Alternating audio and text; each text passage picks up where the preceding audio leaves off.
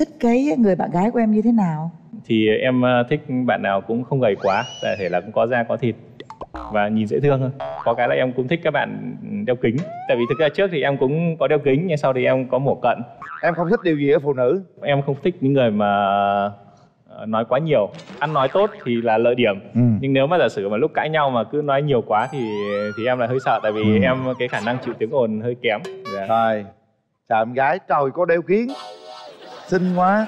Dễ thương. dễ thương không? Bữa nay nhà gái tôi hơi bị chảnh đó nha. Dễ thương đó. Em không thích điều gì ở đàn ông? Em không thích con trai quá nhút nhát ạ.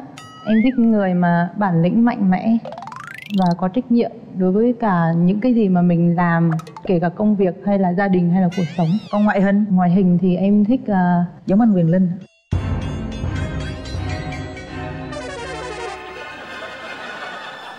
cũng được ạ.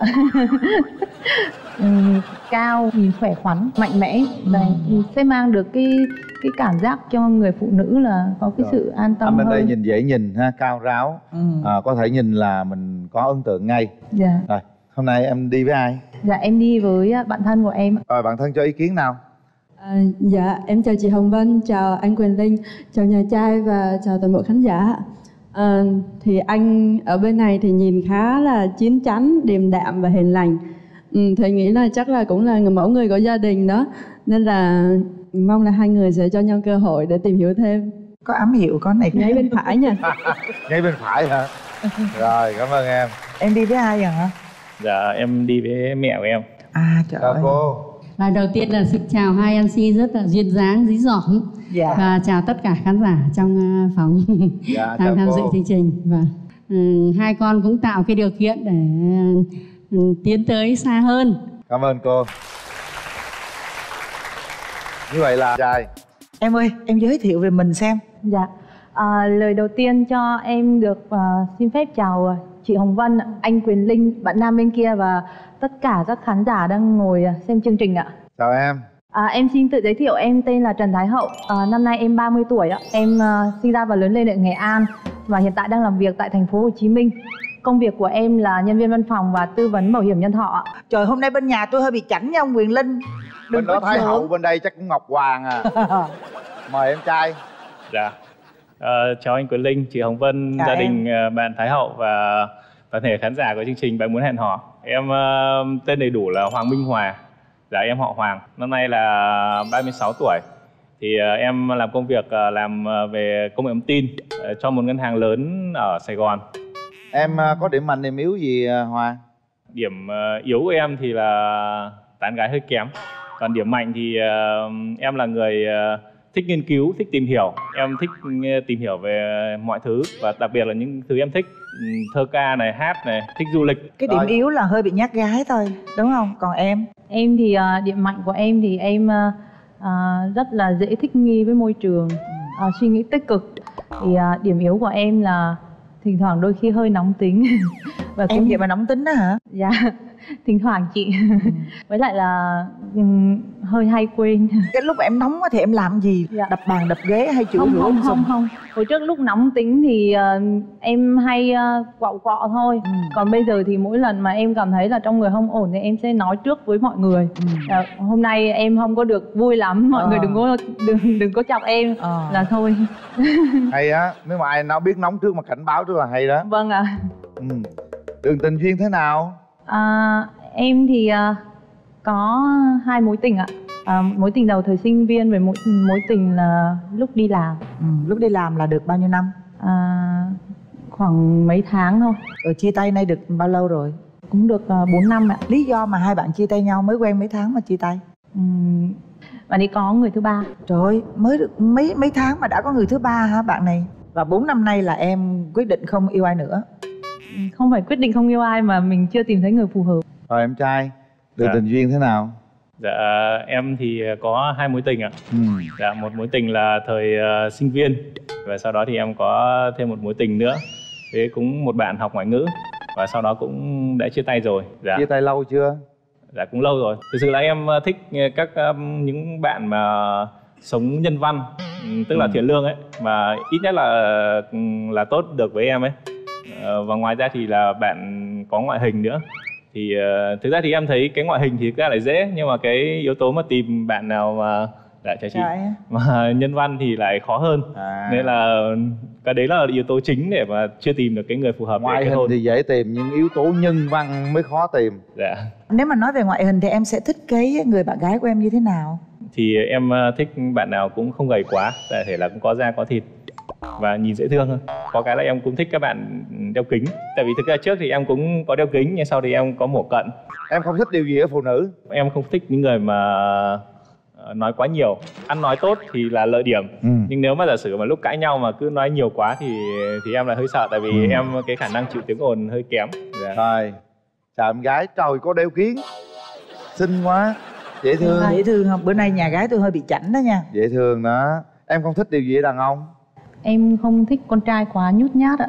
Em thích người mà bản lĩnh mạnh mẽ và có trách nhiệm đối với cả những cái gì mà mình làm, kể cả công việc hay là gia đình hay là cuộc sống. còn ngoại hình Ngoại hình thì em thích à, giống anh quyền linh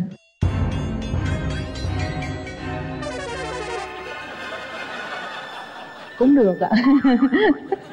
Ừm, cao, nhìn khỏe khoắn, mạnh mẽ và sẽ mang được cái cái cảm giác cho người phụ nữ là có cái Rồi. sự an tâm anh bên đây hơn. nhìn dễ nhìn ha cao ráo ừ. à, có thể nhìn là mình có ấn tượng ngay Dạ. rồi hôm nay em đi với ai Dạ em đi với à, bạn thân của em ạ. rồi bạn thân cho ý kiến nào À, dạ, em chào chị Hồng Vân, chào anh Quyền Linh, chào nhà trai và chào toàn bộ khán giả.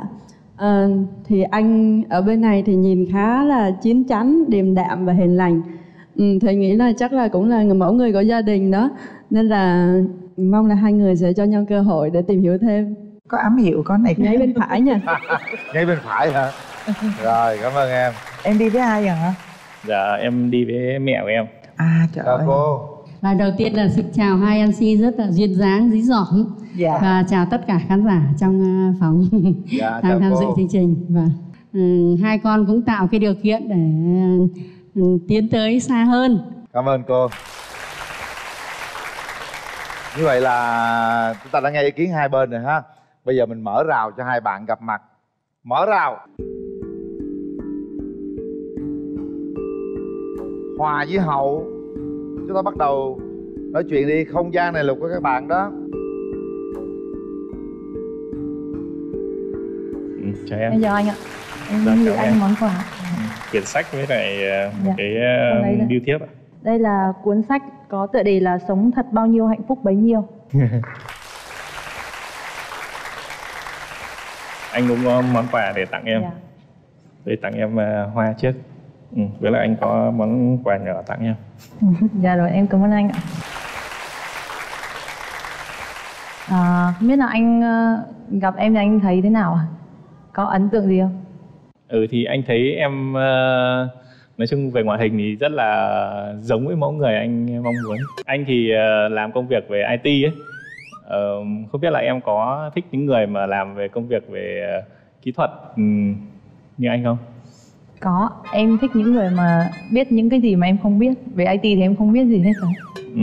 Dạ. em thì hay làm việc ở khu vực quận mấy nhỉ Em hiện tại đang làm việc ở Tân Bình ạ. Tân Bình ở thế cũng cũng gần cho anh anh ờ, hiện tại thì làm việc ở khu vực quận 3 quận 1 cũng Vâng. cũng tương đối là thuận tiện ừ, bữa trưa ăn cơm trưa văn phòng được mà nếu mà gần nhau dạ thuận lợi ha Hồi nãy em thấy anh có nói là anh thích du lịch. ừ. Em thì cũng cực kỳ thích du lịch luôn. Ừ.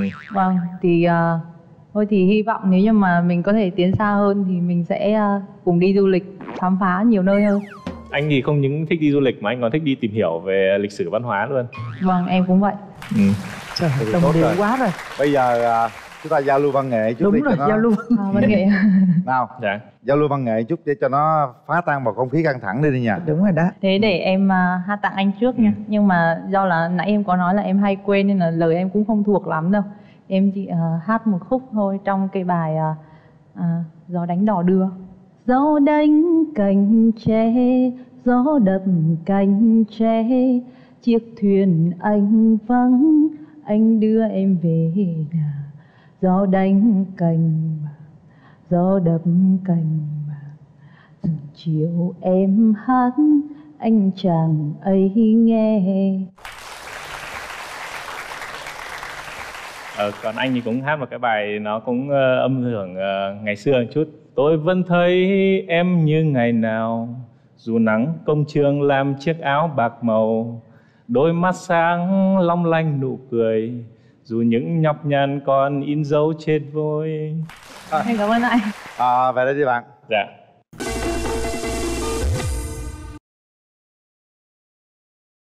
Bây giờ trước khi bấm nút thì à, chúng ta hãy nhìn nhau 30 giây và nói xem con tim của các bạn đang diễn ra thế nào cảm xúc thế nào. Các bạn muốn gì? 30 giây bắt đầu. Ừ, em cảm thấy rất là thoải mái khi mà nói chuyện với anh. À, nói chung là cũng không có cái khoảng cách của hai người à, ban đầu gặp nhau. Em nghĩ là nếu như mà có cơ hội thì mình cứ à, tìm hiểu làm bạn. Rồi xong tiến tới thì à, đến đâu thì mình sẽ tới đến đấy ừ, anh cũng ờ, thấy đây là một cái cơ hội rất là tốt để mà ừm, mình có thể ổn định. Yeah. rồi hết thời gian. Chúng ta hãy để tay vào nút bấm. Kiểm tra con tim mình lại một lần nữa các bạn. Thật sự có rung động với nửa mảnh ghép đang đối diện của chúng ta hay không? Chuẩn bị sau 3 tiếng đếm chúng ta quyết định điều đó. Quyết định Một. chưa nào? Hai ba. Nắm tay đi các bạn. Bây giờ thế này nè em trai. Dạ. À, có thể là ở đây chỉ có bạn cô gái thôi. Nhưng Dạ. trên sóng truyền hình có ba mẹ gia đình của bạn gái luôn. Dạ. Mình hãy nói với gia đình vài câu gì đi. Dạ thì ờ, ờ, xin phép ờ, gia đình bạn gái và cả bạn gái thì ờ, cho ờ, cho em tôi có cơ hội để tìm hiểu và con cũng xin ờ, hứa là sẽ đối xử tốt với bạn nữ. Rồi em nói một chút xíu gì về với à, mẹ đi dạ vâng. mẹ của bạn trai đi. Con chào bác ạ. À, thì à, con à, cũng à, xin à, à, xin phép bác à, cho chúng con à, được à, tìm hiểu. Bác nhìn thấy cái tà áo dài của con là bác đã thích lắm rồi. Rất là duyên dáng Dạ. đúng người ờ, phụ nữ Việt Nam. Dạ đó Vâng. con giống bác á nhìn rất là thích liền thôi hãy làm thủ tục của các bạn đi. Đấy Đơn nào là xin phép ôm em. Nào ôm và hôn. Ừ. đấy. Chúng tôi sẽ gửi tặng các bạn một món quà đó là một bộ à, sản phẩm nhãn hàng Amity trọn gói với các sản phẩm nước lau sàn, nước giặt, nước xả vải, nước rửa tay, nước rửa chén. Và các bạn sẽ nhận được một năm sử dụng miễn phí Amity. Nếu như các bạn đăng ký kết hôn. Amity, bạn nhỏ của mọi nhà. Vina Cacao gửi tặng hai bạn hộp cacao đa vị uống liền Vita do Vina Cacao sản xuất. Vita xin chúc những ngày tháng hẹn hò của hai bạn ngọt ngào như từng giọt yêu thương Vita Vitadari Vita tài trợ cho đứa con đầu lòng của hai bạn một năm miễn phí cacao uống liền. Vita trị giá 32 triệu đồng. Robot thương hiệu quốc gia xin gửi tặng hai bạn voucher 50% khi mua máy lọc nước, máy làm mát, máy lọc không khí, thiết bị điện, dây cáp điện robot tại các điểm bán trên toàn quốc. Nếu như hai bạn tiến đến hôn nhân, robot sẽ tặng máy lọc nước RO và UF thiết kế hoàn hảo 2020 trị giá 10 triệu đồng.